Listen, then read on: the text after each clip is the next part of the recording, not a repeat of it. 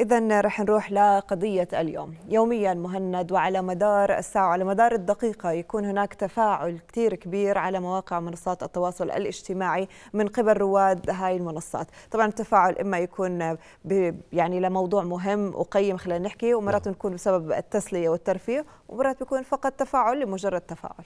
نعم يعني مبدئيا شو صار مع أكرم ليلى؟ نعم. يعني انتشرت بآخر يومين قصة أكرم والكل سمع عن قصة أكرم وهي يعني قصة عادية إجراء عادي شكوى عادية انحطت على موقع للتواصل الاجتماعي أو يعني صفحة خاصة باحدى الشركات. وانتشرت بطريقة يعني ما حدا عارف يفسر كيف صار هذا الانتشار يعني يعني بدنا نحاول إحنا نفسر الموضوع هي مش بس القضية اللي صارت نهاية الأسبوع الماضي هو بشكل عام يعني ممكن يمتد لمواضيع أخرى أو نعم. لنحكي لقضايا أخرى. بس عشان نقدر نفسر هاي الظاهرة ونعرف شو اللي عم بيصير على مواقع التواصل نعم. الاجتماعي بنضم لنا بالاستوديو الدكتور صفوه حدادين الكاتب والمحلل الصحفي. أهلا وسهلا فيك دكتور صباح الخير. صباح الخير. صباح النور. أهلا وسهلا. دكتور يعني خلينا نحكي قضية آه، قضية شكوى عادية موضوع أكرم موضوع صار نهاية الأسبوع الماضي تحول لقضية رأي عام يعني إن صح التعبير يعني ومع التحفظ على آه، إعطاء هذا الموضوع. شو رأيك اللي صار يعني تفاعل آلاف المستخدمين؟ شو تفسير هاي الظاهرة اللي صارت في نهاية الأسبوع الماضي؟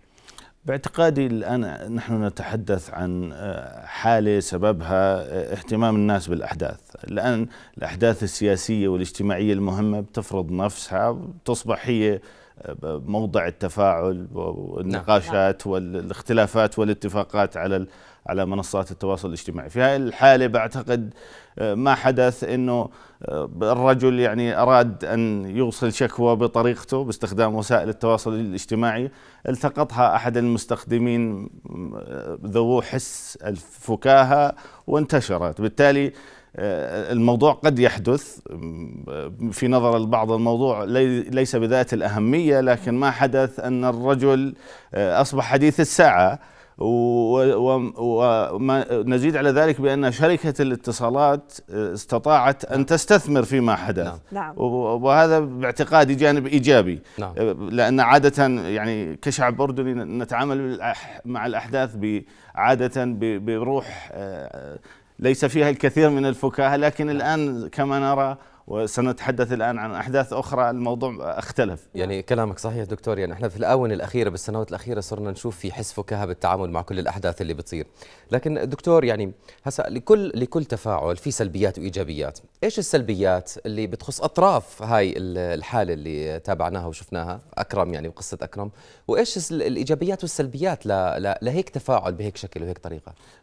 باعتقادي السلبيات خليني أبدأ فيها آه، إنه أحيانا الموضوع يتضخم ويأخذ أكبر من حجمه. نعم. وكما نلاحظ منصات التواصل الاجتماعي أصبحت أداة ضغط. ناو آه، بهذه الفترة إذا بنحكي عن موضوع آه، موضوع أكرم نحكي عن ضغط على شركة الاتصالات نعم. نعم. شركة الاتصالات استجابت له ايجابيا رغم إنه ما حدث حتى تفاعل المستخدمين الآخرين و يمكن لاحظت التعليقات اللي كانت في في بعض الاتجاهات ساخرة من من نعم. الشركة نعم. ومن شركات الاتصالات بشكل عام نعم. لكن الشركة تعاملت بإيجابية واستثمرت فيها بعتقد كان في عائد إيجابي حتى على أدائها نعم. نعم. واهتمام الناس فيها نعم. الآن الآن الجانب الإيجابي الأكبر إنه آه، آه، كما يحدث في القضايا المهمة وسائل الاتصال الاجتماعي لها تأثير نعم. آه، كما كما نلاحظ دائما قرارات سياسية تتغير نتيجة التأثير المصاحب لوسائل الاتصال الاجتماعي. نعم بس نعم. إحنا بدنا نحكي بنفس السياق. يعني في ظل ما نعيشه من تطور رقمي ومن انتشار واسع لمواقع التواصل الاجتماعي هل بالإمكان إنه نوجه إذا بنقدر نحكي يعني إن صح التعبير نوجه هذا التفاعل لقضايا مهمة في المجتمع سواء كانت اقتصادية اجتماعية أو حتى سياسية؟ بالتأكيد. عودا على بدء على ما ذكرت بأنه في النهاية آه، حديث الناس أصبح محوره وسائل الاتصال الاجتماعي نعم. حتى حتى الالتقاء اللي نسميه الفيزيائي بين الناس الآن خف لصالح لصالح وسائل الاتصال الاجتماعي صح. الآن في القضايا الوطنية والاجتماعية المهمة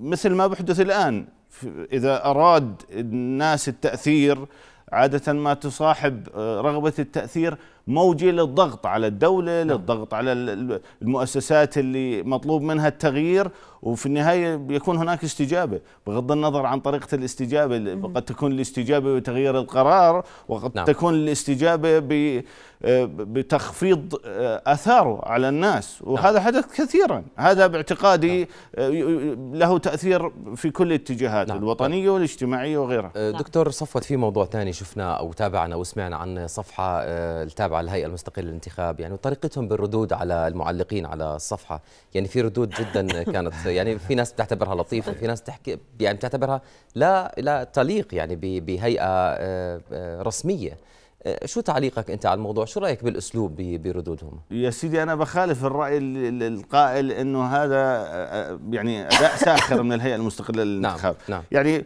ما بعرف شو السبب اللي قادهم يتحركوا بهالاتجاه لكن يبدو أن الدولة تطور أدواتها. هذا إيجابي. نعم. طيب، الآن إذا إذا بتعاملوا مع موضوع لأنه الناس الناس ملت الحديث عن الانتخابات وال و... إحنا شايفين نموذج وأحداثها وخصوصا الآن مقبلين على اللامركزية. والناس الناس ممكن تكون آه، يعني ما بعرف قديش راح يكون في إقبال على الانتخابات في ظل الملل الموجود. لكن الآن يبدو إنه الهيئة عم تستثمر بهذا الموضوع طبعا. زي ما ذكرت. يعني, يعني عم بيردوا بطريقه طبعا. فكاهية. بتابع بعض الردود من إذا إذا من الآن فصاعدا مؤسسات الدولة بدها تتحرك بهالاتجاه الإيجابي بعتقد موضوع بنقدر نعول عليه كثيرا.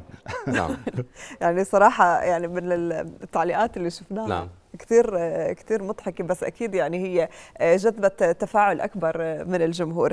برأيك هل التجربة رح تقود إلى منهجية واضحة وجاذبة في استخدام منصات التواصل الاجتماعي من قبل الهيئات والمؤسسات الرسمية لتعزيز المشاركة مثلا في الانتخابات؟ باعتقادي ضروري والآن عندنا وزيره الاتصالات تحديدا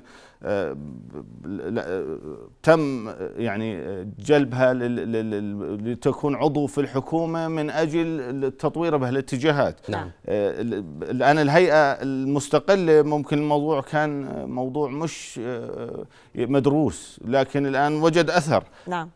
بعتقد إذا كان في هناك قرارات صائبة آه، في ضمن إطار وزارة الاتصالات يتم التركيز على هكذا موضوع نعم. حتى تستثمر في منهجية واضحة يمكن. طبعا نعم. بيحتاج بيحتاج يكون في منهجية وطريق واضحة للاستفادة منه. نعم. نعم. دكتور صفوت حدادين الكاتب والمحلل الصحفي شكرا جزيلا لحضورك معنا. يا سيدي أشكرك. شكرا, شكرا. جزيلا لكم. أهلا.